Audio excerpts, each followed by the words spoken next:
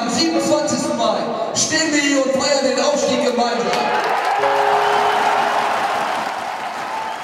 Die fantastische Mannschaft, die fantastischen Fans.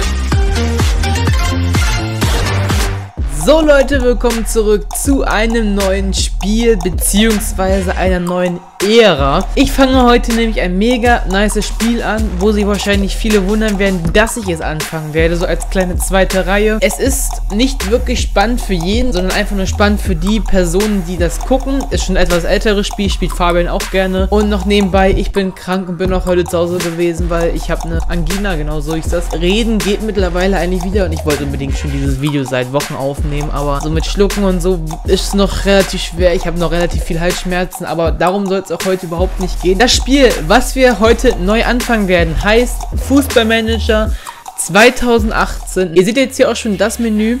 Das ist einfach ein Fußballmanager, wo man seine Mannschaft nicht spielen kann, aber einfach von Präsidium bis zum Trainer hin organisieren kann. Man kann sich Sponsoring-Teilnahmen holen. Und das Spiel gibt es mittlerweile auch nicht mehr, aber der liebe Fabian hat mir halt ausgeliehen, dafür, dass ich das aufnehmen kann. Wir sehen jetzt hier einfach Standardmodus äh, mit Entlassungen spielen. Ich besitze nicht den Verein, ich will kein Präsident sein. So, kommen wir zur Datenbank. Ich nehme die Datenbank aus dem Editor, den ich da reingeladen habe, weil es ist ein Spiel, also der grundlegende Spiel ist der Fußballmanager 2014. Es gibt vom eigenen FIFA, aber das ist der gleiche Hersteller wie FIFA, EA Sports. Seit 2014 kein neues Game mehr, aber es haben sich Leute, die darauf Bock hatten, einfach selbst hingesetzt und haben im Internet ein eine neue Datenbank hochgeladen zu den aktuellen Kadern. Heißt, warum ich dieses Spiel spiele, es gibt Energie Cottbus. Wir fangen unten an in der vierten Liga und wollen uns immer höher steigen. Das sind aber noch die Kader aus dem Jahr 2018. Ähm, deswegen, es gibt leider die noch nicht von der 2019, aber ich will die noch eben durchhasseln hier. Und das Spiel ist halt wirklich nur was für Taktikfüchse, würde ich einfach so von vornherein sagen. Und auch nicht für jeden wahrscheinlich interessant, sondern nur für die ganz Leute, die das auch interessiert, so. Von daher, das wird auch einige Folgen gehen. Das wird auch sehr, sehr lange gehen, wie schon gesagt. Aber ich hoffe, ihr habt natürlich dann daran Spaß. Das wird zu so jeden Samstag oder so kommen. Ist mir jetzt gerade einfach ursprünglich mal eingefallen, dass ich das ja nochmal machen wollte. Wir gehen jetzt immer auf Deutschland, Regionalliga Nordost und nehmen hier den Club Energie Cottbus, gehen dann weiter, nehmen keine Nationalmannschaft. Irgendwann kommen dann die Angebote rein. Und hier sehen wir jetzt schon mal die Spieler. Ich würde sagen, wir sehen uns gleich wieder bei dem nächsten Cut. So, wir haben uns auch für den DFB-Pokal ähm, beworben sozusagen. Ihr seht uns dort. Ich mache es aber mal schnell. Und wir müssen ran gegen RB Leipzig. Das ist schon mal ein sehr, sehr gutes Los. Ich denke mal, das Störende Freundschaft wird dann ausverkauft sein. Hier muss man dann auch immer damit spielen, dass man so mit den ganzen Spielern immer redet, damit die Form oben bleibt. Und es geht dann immer abwärts, wenn der Spieler demotiviert ist, zum Beispiel lange keine Tore mehr schießt.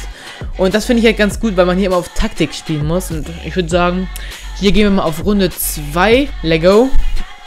Angebote. Jetzt kommen diese Hauptnachrichten. Erstmal wird das Spiel sozusagen gespeichert, ist ja klar. Hier sehen wir erstmal den Hauptscreen. Unten links fängt an mit diesem News Center. Dann haben wir hier den Kalender, wo wir halt verschiedene Sachen eintragen können.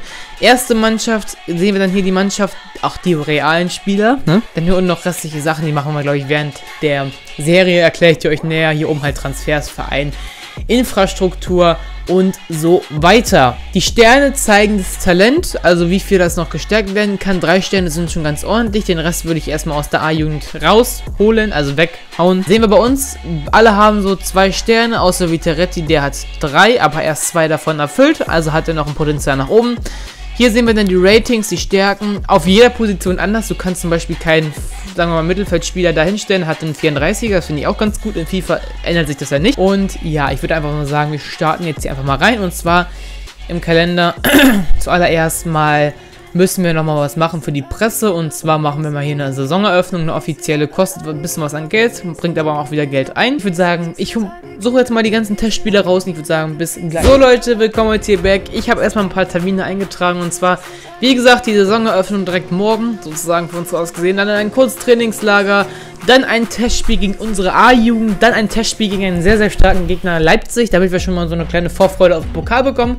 Hier ein Laktattest, dann ein Testspiel gegen Rödinghausen, auch Viertligist, dann noch eins gegen Berliner AK. Insgesamt sehr, sehr wenige. Hier könnte man eigentlich noch eins reinnehmen, müsste ich, würde ich sagen. Vielleicht hier noch irgendwie so eins. Ja, Arminia Bielefeld ist ein ganz guter Gegner.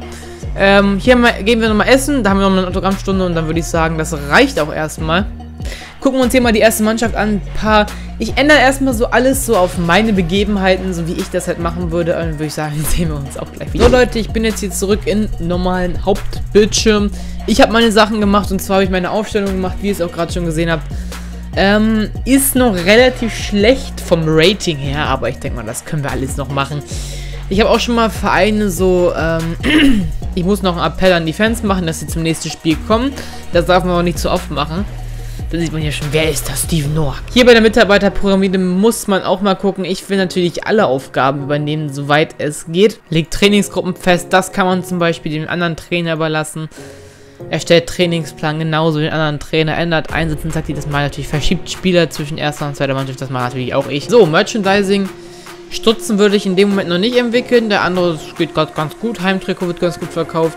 Auswärtstrikot würde ich vielleicht auch später mal aufnehmen, wenn man so dritte Liga ist. Sponsoring habe ich mir gerade schon Volkswagen geklärt, die auf dem Trikot-Dings sein werden. Bandenwerbung, wenn dann hier noch welche eingeblendet werden. Jetzt kann man zum Beispiel sagen, wir werden Pokalsieger. Werden wir nicht. Das sage ich nicht, weil man aus einem ganz einfachen Grund. Ich fliege jede Runde im Pokal raus. Nicht im DFB-Pokal, sondern im Landespokal. Ich weiß auch noch nicht, was da der Fluch ist. Wir werden diese Saison aufsteigen, da sage ich schon. Wir werden unsere äh, Saisonziele erreichen. Wer nicht fit ist, der spielt nicht. Wer schlecht spielt, ist draußen. Wenn die Leistung nicht stimmt, werden die Prämien eingefroren. Wir werden viel rotieren. Ich fordere Disziplin. Wir werden eine Tollstimmung in der Mannschaft haben und ich werde verstärkt auf die Jugend setzen. wir werden die Stadion ausbauen. Ich gehe nicht an die Börse. Ich werde dem Verein treu bleiben, egal was egal passiert. Und wir werden alles so ein bisschen verbessern. Und ich würde sagen, los geht's mit der Saison gegen die A-Jugend. Ist das erste, glaube ich. Was passiert jetzt hier? Wo liegt seine, sein Marktwert? Liegt bei 27.000. Fordere ich aber mal 37.000 Forderungen stellen. Ja, Spieler kaufen bin ich immer noch nicht so in der ersten Saison. Ich will erstmal mit dem Team gucken, so was schaffen wir damit, was schaffen wir damit nicht. Das ist immer so ein bisschen die Sache, weil ich kann mit so viel Geld oder mit so wenig Geld eher gesagt nicht viel machen. Habe ich auch mal so gesehen, höchstens so ein, zwei bis drei Laien. Mehr aber auch nicht. Mit denen konnten wir jetzt nicht. Neue Sponsoren angeboten. Der Sponsorenpyramide. 1 und 1 möchte rein. Da verhandeln wir mal und unterschreiben das auch direkt. Umso mehr Geld, umso besser. Genau, unsere Fitness ist auch ganz, ganz schlecht da unten. Deswegen würde ich einfach mal sagen, wir stellen gleich einen Fitnesstrainer ein. Das macht man wie folgt. Man geht zum Training und hier unten steht Fitnessexperte und den für ein bisschen viel Geld, aber egal. Den brauchen wir nämlich auf jeden Fall. So, gegen die A-Jugend sind circa 900 Zuschauer da. Wir kämpfen heute um jeden Ball. Man sieht das hier Text für Text. Man kann das nicht verschnellern. Ich denke mal, dieses Spiel einfach komplette Geschwindigkeit. 1-0 für uns, 2-0 für uns. Läuft doch schon mal ganz gut. Vitaretti mit einer gelben Karte. Das ist halt eher so ein taktikgeprägtes Spiel und nicht so, man sagt so, yo, ich, ich, ich, ich trick's jetzt hier rum oder so. Ist halt nicht so wie FIFA, es hat was eine ganz andere Richtung, aber halt auch Fußball und ja. Lassen wir den Assistenten mal mit dem sprechen, Halbzeitansprachen. Lass uns genauso weitermachen, dann fügt sich alles zusammen. So, Spielerwechsel. Sind alle fast durchlaufen. André Starzev kommt gleich nochmal rein für Baude. Eigentlich alles eine ganz gute Mannschaft. Muss man ganz ehrlich sagen. Also an sich haben wir eigentlich schon die vierte Liga ein echt gutes Team. 3-0 geht das Spiel aus. Ich bin damit relativ zufrieden. Gegen die A-Jugend sollte man auch nicht zu tiefe Ziele setzen, weil das ist natürlich keine, keine wirkliche herausfordernde Gegner. So, also wem das Spiel hier gefällt, kann auf jeden Fall mal ein Like da lassen. Ich werde nur eine ich werde nur versuchen, so vielleicht bis zur zweiten Liga, wenn wir aufsteigen sollten, das alles zu filmen, beziehungsweise halt äh, zu machen und dann den Rest vielleicht zu streamen. Das wäre vielleicht nochmal ganz gut. So, noch 13 Sekunden, weil es sind noch 19 Tage zu simulieren. Oh, wir haben das Spiel gegen Leipzig. Haben wir 0 zu 2 nur verloren, das ist gar nicht mal schlecht. Ach, der wollte uns jetzt bis zum kompletten Ende rausmachen. Ah.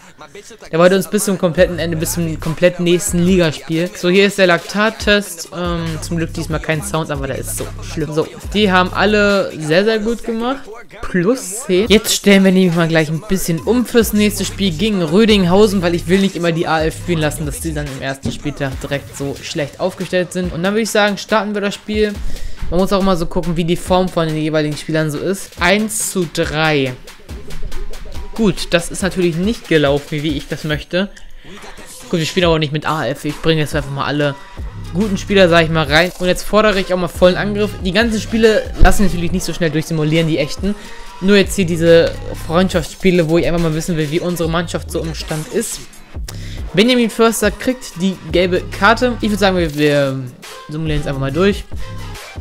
Oh, starke Mannschaft. Uiuiui, jetzt müssen wir den Spieler weniger spielen, weil ich schon... Ich bin so doof und habe alles schon ausgewechselt. Gut, 1, 2 zu 3. Wir verlieren das Spiel am Endeffekt auch mit einem weniger gespielt. Ist mir jetzt auch scheißegal soweit. Ich möchte jetzt einfach diese Vorphase jetzt durchbringen einfach. Und ich hoffe mal, dass der Freitag nicht so äh, lange ausfällt. Sechs Tage ist zum Glück nicht so schwerwiegend. Ich simuliere jetzt einfach bis zum Ligastart und dann gucke ich mal, was da so alles bei rausgekommen ist. Und ich muss halt auch mehr mit den Spielern drehen, das mache ich jetzt aber in dieser Vorphase noch nicht. Weil mir das nicht so wichtig ist in der Vorphase. Später wird das alles noch detaillierter in den ganzen Videos, ähm, weil ich da halt in jedem Spiel wirklich taktisch vorangehe und ich versuche halt wirklich die Saison gut vorbeizubringen. Es kann auch schon sein, dass ich nach, dass ich nach der Saison sage, ich streame das nur noch. So, weiter geht's ich bin mal gespannt, wie wir gegen die restlichen Mannschaften gespielt haben. Mein Hals fängt langsam an zu streiken. Wir haben 4 zu 0 gewonnen gegen Berliner AK.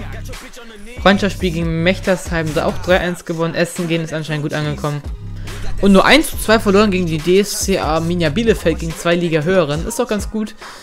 Mein Matuvila ist wieder fit, Autogrammstunde ist gut angekommen.